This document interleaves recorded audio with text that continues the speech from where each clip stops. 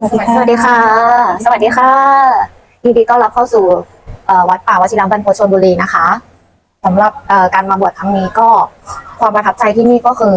เอาจากใจเลยนะคะ ชอบห้องพักมากค่ะ คือดีมากแล้วก็สะดวกสบายจะแตกต่างจากที่อื่น แล้วก็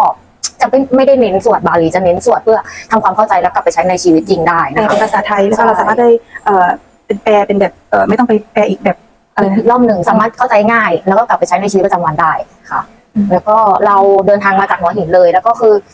อยากบอกว่าไกลแค่ไหนนี่ก็คือวางแผนกันมานานมาก แล้วก็คือใช่ใช่แล้วก็คือเพื่อที่จะมาวัดนี้ค่ะ แล้วก็คือดูรีวิวเยอะมากมีรีวิวเยอะมากแล้วก็หลักการคำสอนแล้วก็สถานที่ดีทุกอย่างเพอร์เฟกมากค่ะ เหมาะแก่การรักษาศีลหรือว่านักเรียนนักศึกษามาเริ่มปฏิบัติธรรมอย่างเงี้ยค่ะ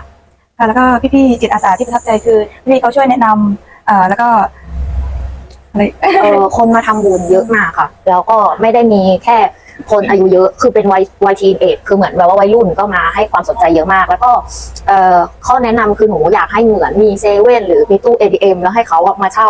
ที่วัดหรือเพื่อจะเป็นการเหมือนสนับสนุนรายได้ให้วัดเพราะว่าที่นี่จะไม่มีการเรียกอะไรนะคะวัดไม่มีการเรียกเก็บเงินเลย อยู่ที่ศรัทธาของเราหนูก็เลยคิดว่าเออถ้ามันมีเซเว่นมาตั้งให้เรากดเหมือนตอนบางทีไม่มีเงินสดค่ะกดเงินไม่ได้อะไรอย่างเงี้ยค่ะอาจจะมีอย่างอื่นอย่างแบบเอ่อแบบพี่ๆเข้ามาแบบอยู่นานๆอะไรเงี้ยอาจจะมีระยะเอ่อ ที่ตัดเล็บอะไรเงี้ยแบบแหนบอะไรใช่อะไรเวลาประมาณถวายอย่างเงี้ยค่ะเซเว่นอาจจะไม่ต้องเปิด24 ชั่วโมงเดี๋ยวคนจะไปผิดศีลอะไรเงี้ยเออเดี๋ยวก็ไม่เป็นนะ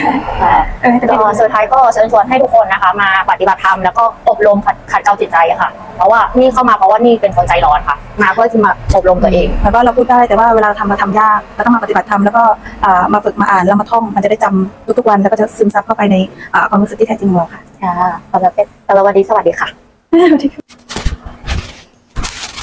สวัสดีค่ะ แฟนเพจวัดป่าวัชรบรรพตจังหวัด